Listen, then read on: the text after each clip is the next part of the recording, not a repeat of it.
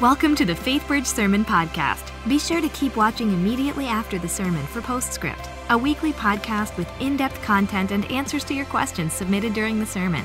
You can also find it on iTunes or at faithbridge.org/slash postscript. Well, good morning, and let me say Happy Mother's Day, whether you are in Center Court West, Center Court East, if you're up at the Woodlands, or if you're coming to us online. We're so glad that you've chosen to worship at Faith Bridge today. We're going to be in the book of Exodus. That's the second book in the Bible. If you need a Bible, raise your hand. The ushers are coming down the aisle. They'll be glad to give you one that can be yours to keep. If you need it, consider it our gift to you. You can go ahead and turn to Exodus chapter 20. Just put your finger there as a placeholder. We will get to it in the course of the message, but for right now, let's, uh, let's take a moment and pray together. Father, we are so grateful for the privilege and the freedom that we have to gather in your house without fear, without obstruction, to lift up the name of Jesus, to proclaim our faith, to be filled with your Holy Spirit, prepared and equipped to live for you in the world. We pray now that as we turn our attention to your word, your Holy Spirit would come, just as you promised, to be our teacher and to guide us into all truth. We offer our prayer in the strong name of Jesus. Amen. One of the great ironies of life is that some of the things that we cherish the most can also prove to be some of the most challenging things we will ever try to do or deal with. Those things which, on the one hand, can bring a tremendous amount of fulfillment and satisfaction, also have the capacity to push us right to the very limits of our physical, emotional, and mental capacities. And if we were to make a list of these ironies, I'm sure you would agree that somewhere toward the top would be the whole experience of parenting. What is it about these creatures called children that, on the one hand, can elicit just overwhelming love from us, and then seemingly seconds later produce a sense of maddening revulsion? As if I don't care if I ever see your face again. What is it about these kids that they can do that? Yeah, parenting, on the one hand, one of the most rewarding things that we will ever do. On the other hand, newsflash, it is hard. And I'm afraid my generation, the baby boomer generation, has made it exponentially harder by introducing the blame game. It's that whole notion that whatever difficulties I have in my life, whatever problems, hang ups I might happen to have, they are there. You can draw a straight line from those difficulties right back to my relationship with my parents. I mean, it's basically their fault that I have this bad natural hair part. It's their fault that I can't get a date. It's their fault that I'm a pathological lawbreaker. It's their fault, it's their fault, it's their fault. I mean, we expend ourselves, we pour out heart and soul on their behalf. We practically go broke in the process, and what do we get in return? They go on Oprah, tell the world how we put the fun in dysfunction.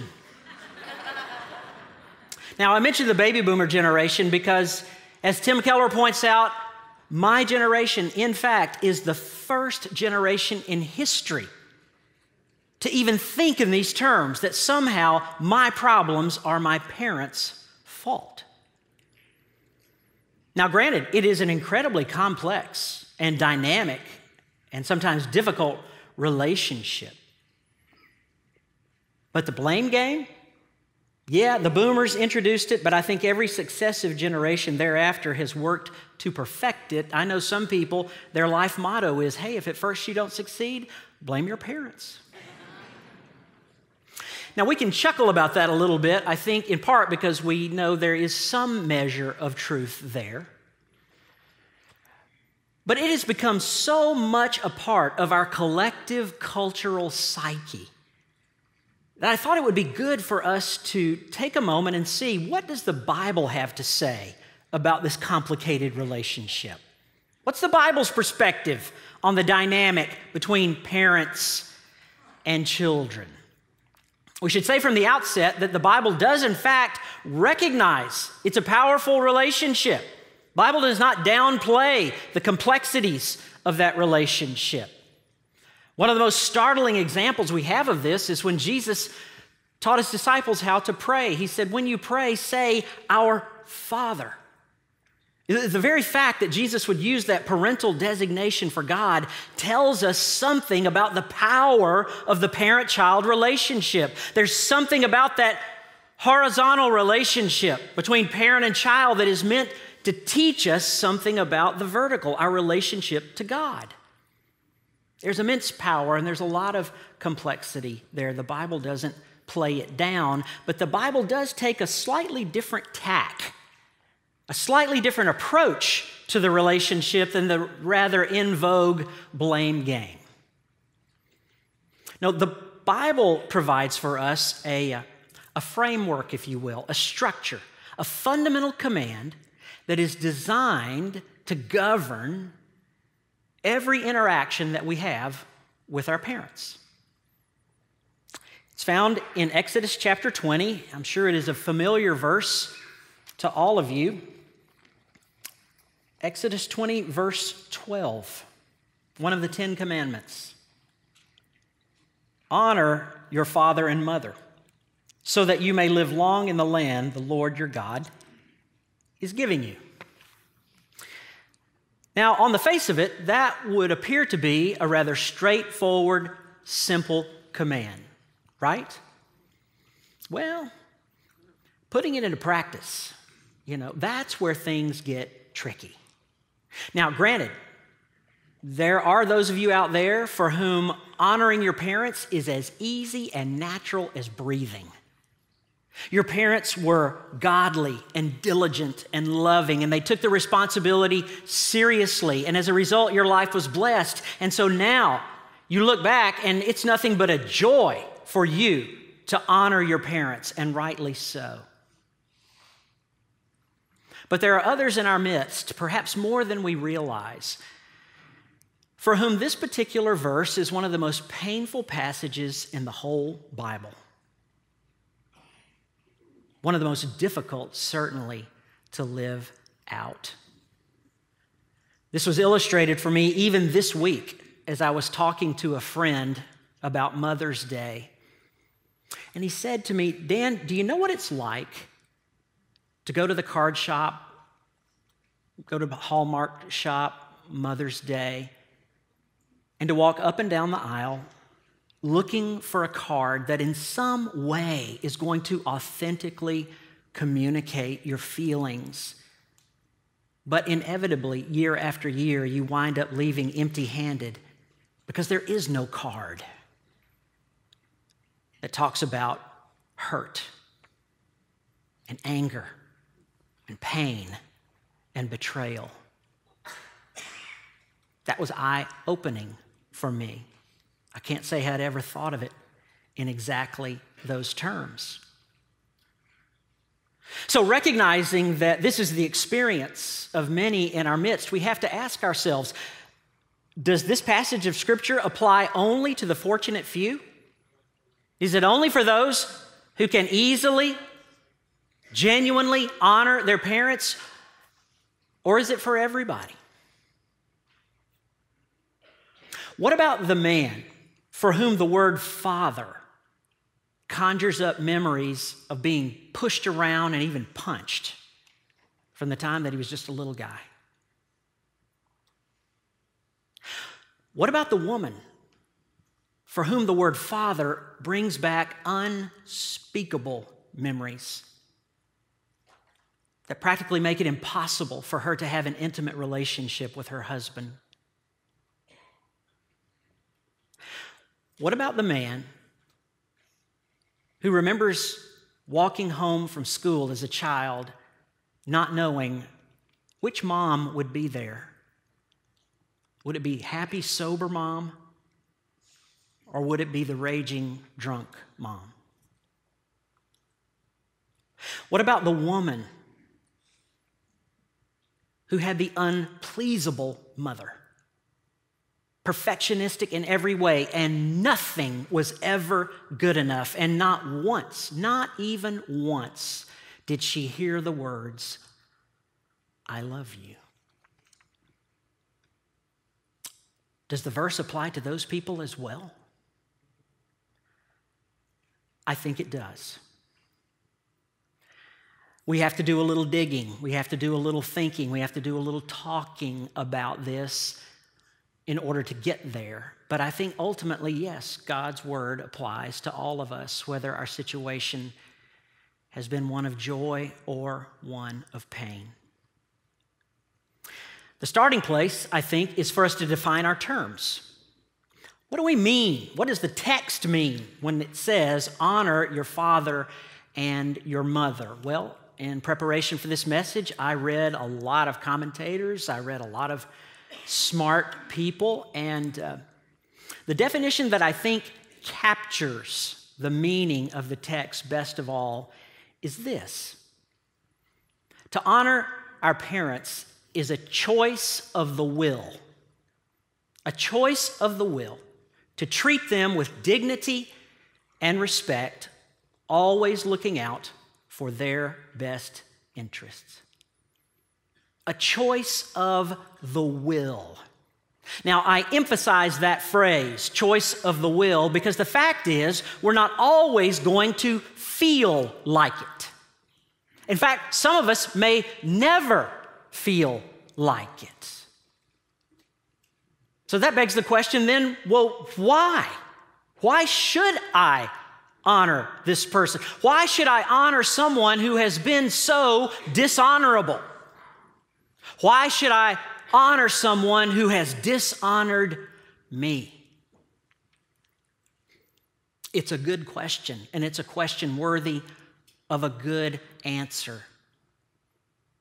It's really the nub of the issue, isn't it?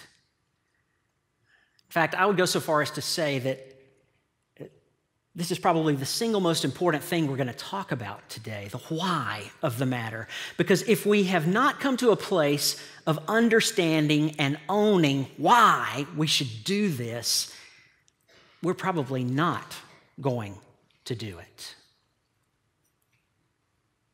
So, why should we honor our father and mother even if they have been dishonorable? Here's why because honoring mom and dad is more about us than it is about them. It's more about us than it is about them. Now, let me flesh that out a little bit. The point of being a Christ follower, of being a Christian, a disciple of Jesus Christ, is to be changed, to be completely and irrevocably changed. God is constantly at work in our lives as a follower of Jesus, seeking to change us from the inside out, not just cosmetics, not just externals, but new creatures.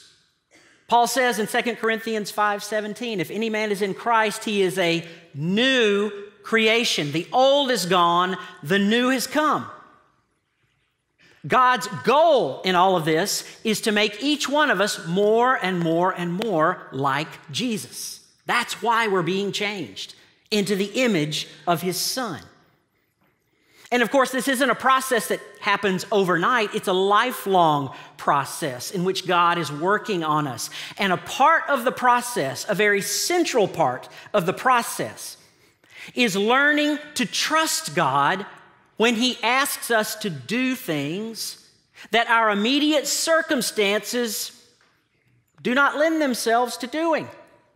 When everything around us says, don't do this, and God says, yes, I want you to do this, it comes down to a matter of choice. Are we going to trust what we can see and feel and touch and hear and taste? Or are we going to put our faith in the God who loves us and take that step? Trusting that even if we can't see the good, somehow He is working the good. Sort of like Jesus, you know. The Father said to the Son, I want you to go to the cross. And all of the visible evidence said quite clearly no. This would not be a good idea. This would not be a good thing. But Jesus chose to trust the Father, stepped in faith, and good beyond description came of his choice. God never asks us to do anything just because, just because He said so. No, God has a plan and a purpose. God is working something in our lives. And a part of our maturation in Christ is to be able to step back and see the bigger picture and to understand this thing is so much bigger than my immediate situation with my parents. This is about me being equipped for all of eternity. This is about God loving me enough not to let me stay the same. But He chooses to enter into my situation and He beckons me, Come, trust me. I know it will hurt. I know it won't be fun, but trust me. We make a choice of the will to treat our parents with dignity and respect, always looking out for their best interests. Because we genuinely believe that God is working in and through that to change us. That's why we do it. So, how do you do it? Well, for starters, not on our own. You and I do not possess the wherewithal to love as we should love. Our love is limited, our love is finite. Our love remembers wrongs and slights and hurts. Our love is not inclined to forgive. Therefore, if we are going to honor someone who has dishonored us, the starting place is to know and experience the forgiving and unconditional love of Jesus Christ. We can't give away what we don't possess. We must first receive that unconditional forgiving love before we have any chance at all of extending it to someone else. That's exactly why Jesus said in the Gospel of John, As I have loved you, so you must love one another. First, understand how has He loved me? What has been my experience of the love of Jesus? Have I even had one? Do I know it? Is it central to my life? Is it a motivating factor in my life? We dare not move forward without it. For the Apostle Paul, the love of Jesus was central to his message and ministry. He references it over and over again in his letters. One of the most beautiful, one of the most powerful is found in his letter to the Ephesians, a prayer that he offers on their behalf in chapter 3. Listen to this. And I pray that you, being rooted and established in love, may have power together with all the Lord's holy people, to grasp how wide and long and high and deep is the love of Christ, and to know the love that surpasses knowledge, that you may be filled to the measure of all the fullness of God. Friends, when we are filled to the fullness of all the measure of God, we don't have to work up love for somebody else. Our love is the natural overflow of what is already there. That's why we have to begin by knowing and experiencing the unconditional and forgiving love of Jesus. It's that love that will motivate us, it's that love that will carry us even through the challenging moments. Love is the starting place. Where do we go from there? Proceed with caution. And what does that mean? No two situations are the same. No two people are going to honor their parents in exactly the same way because no two people have had exactly the same experience with their parents. And a number of factors have to be taken into consideration.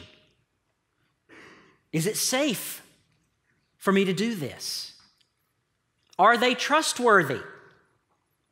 Am I at a place where I am ready to extend love, understanding that it may not be reciprocated? It may not come back to me. Can I deal with that? All of these things have to be thought of beforehand, before we jump into this sort of thing. Because uh, believe me, folks, I understand, I fully understand that a single sermon is not going to bring anyone to a place where they're ready to just jump up and run out and deal perhaps with years and years of hurt and pain. I get that. Pain makes us leery of snap decisions. But here's the good news our God is patient and our God is kind, and He will walk with us every step of the way. There won't be a moment that He'll leave us on our own. And as we choose to obey Him, He will, in fact, honor us. How we honor our parents is going to be different for each and every person. And the practical outworking of that experience, um, I like to think of in terms of concentric circles. Our parents there are at the very center. And the degree to which we are prepared to honor them and to be in closer and closer relationship with them will determine how we honor them. For example, those on the outermost ring, this group of people, for them, honoring their parents may mean they just don't want to kill them anymore. That's honoring.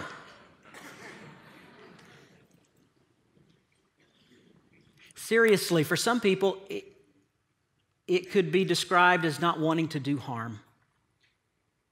And I have known people in my ministry who've been in that hard place. But they've come to a place where, hey, I at least don't want to do them harm, and that's honoring. Coming in a, a, a little bit closer, perhaps honoring our parents means that we don't hate them anymore. We've decided to let that bitterness and that rage, all of that toxicity go. We've had it long enough.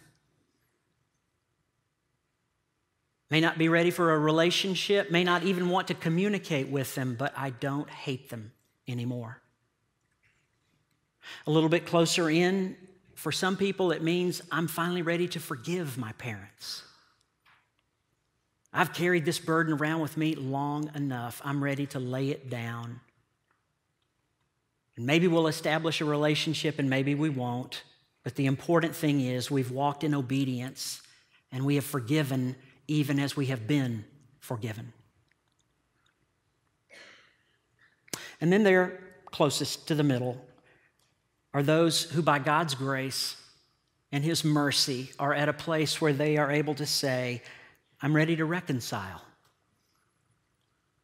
I've worked through my feelings and my hurt and my pain, and I have forgiven, and I'm ready to reestablish a relationship and move forward. How we honor our parents depends on where we are on the spectrum.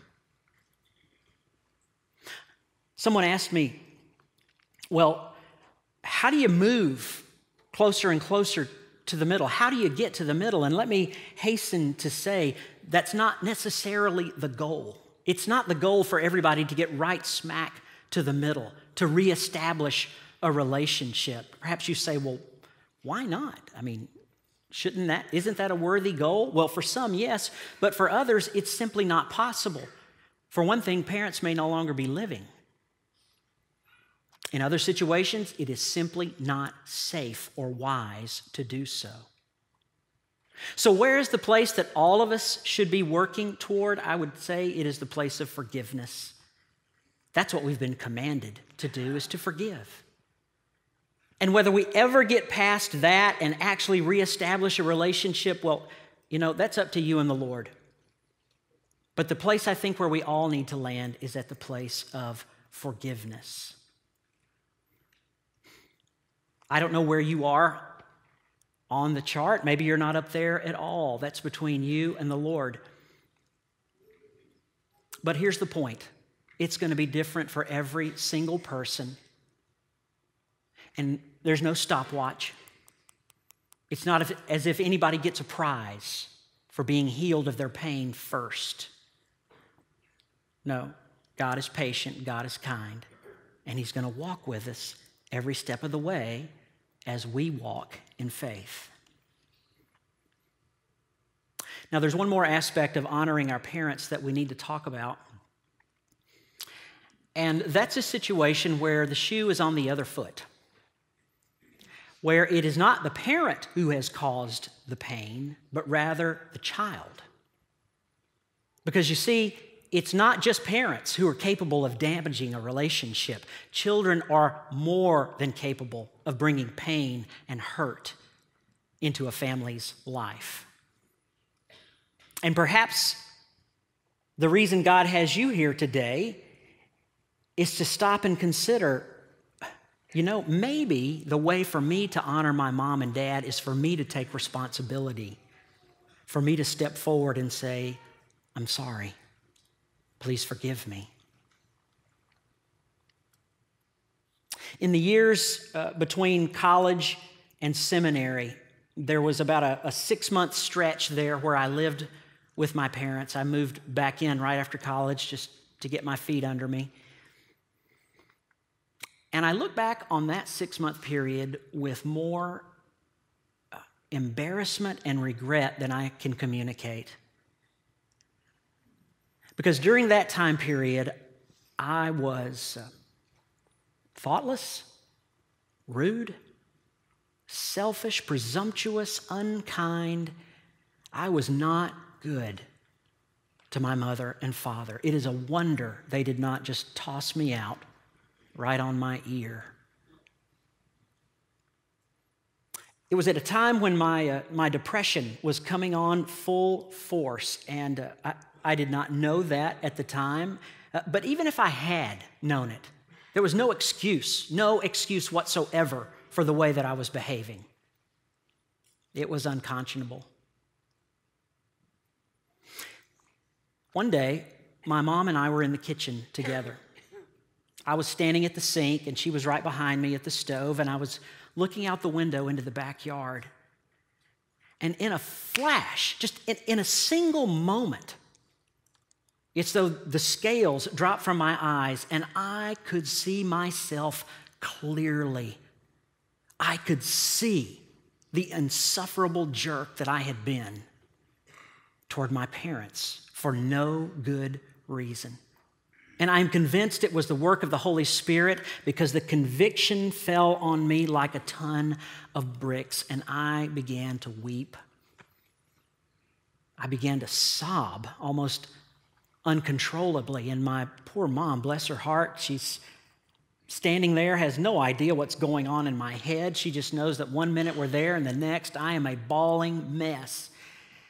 And it took about three or four minutes before I could regain my composure and say to her, Mom, I am so, so sorry. There's no excuse. Please forgive me. And by God's grace, she did. Honoring our parents means different things for different people, and maybe the best way you can honor your parents today is to go to them and say, you know what? I can see I wasn't perfect in this relationship either. Please forgive me.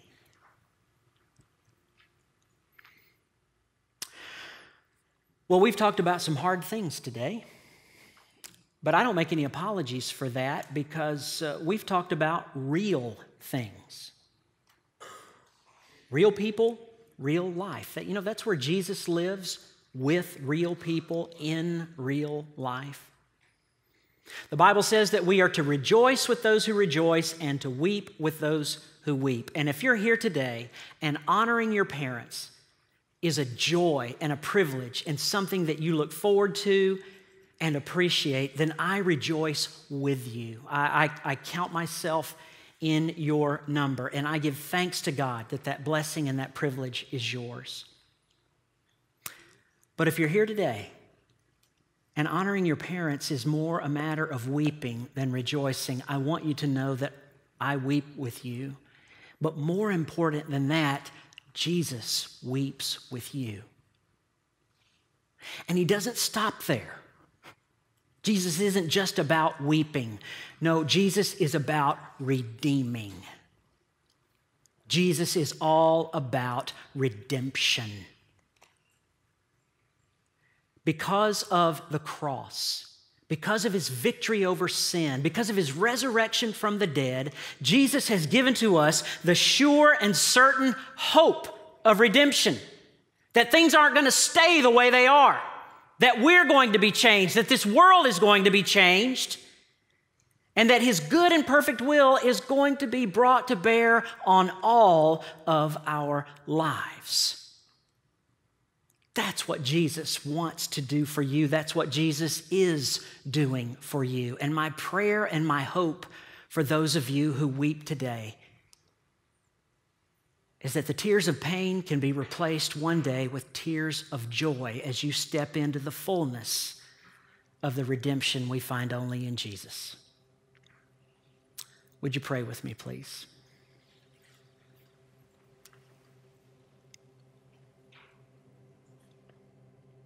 Father, we come before you this morning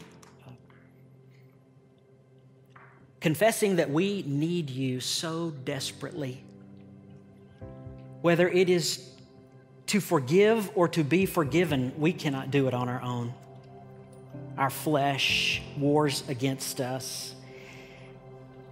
And so give to us today your grace, your mercy, your humility, and empower us to be men and women who are being shaped and molded to the image of Jesus willing to take steps of obedience even when it seems foolish, willing to humble ourselves and seek forgiveness. Thank you for loving us every step of the way, and thank you for never abandoning us. We pray, O oh God, for an outpouring of that grace. In Jesus' name, amen. Welcome to Postscript here we hope to answer your questions and help you dig deeper into the messages and sermons at FaithBridge by talking with the teacher of the day.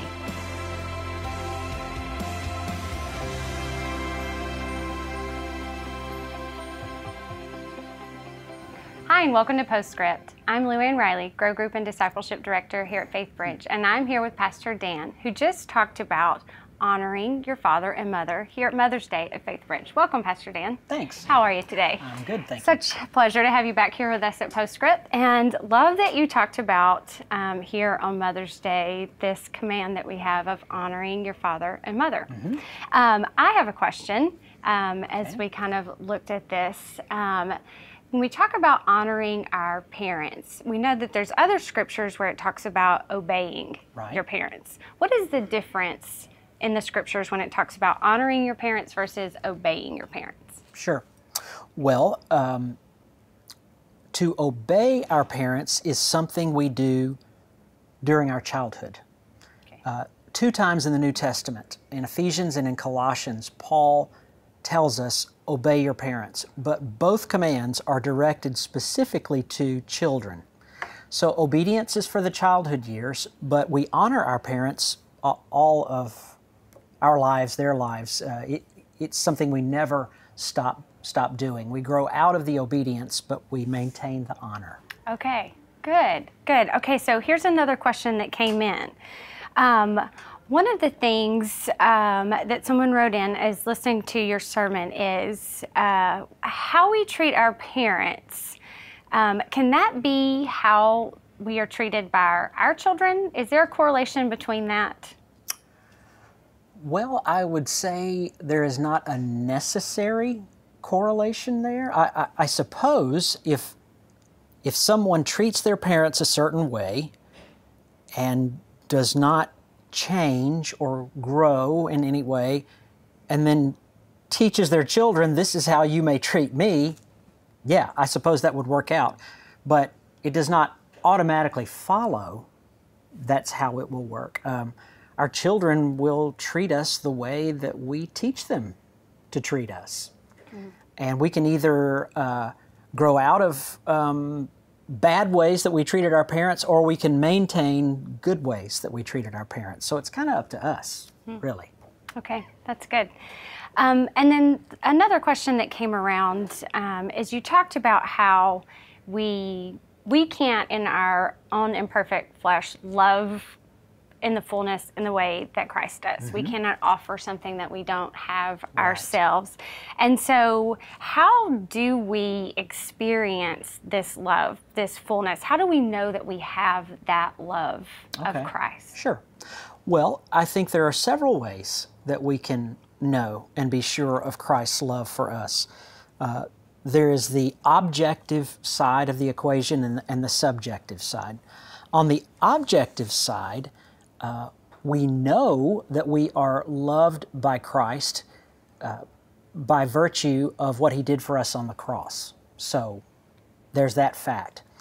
Then Paul tells us also that when we enter into a relationship with Christ, his love is shed abroad in our hearts. So he imparts to us specifically the gift of love. So those are truths that we can stand upon whether we're actually feeling them or not. But I suspect the questioner really is getting at more the subjective side. How do you know that you are loved by Jesus? Well, um, I think it is the same as it is in any other relationship.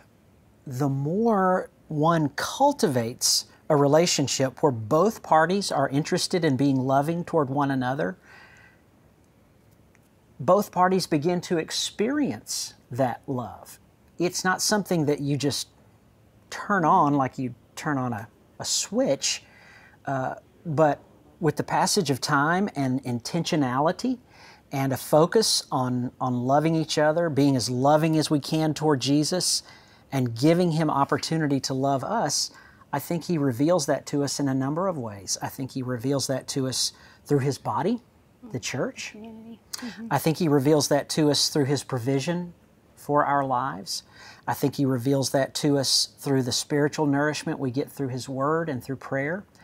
And on occasion, when He chooses to, He imparts to us feelings of love. But there again, that's not something we can just work up or, or should even try to work up.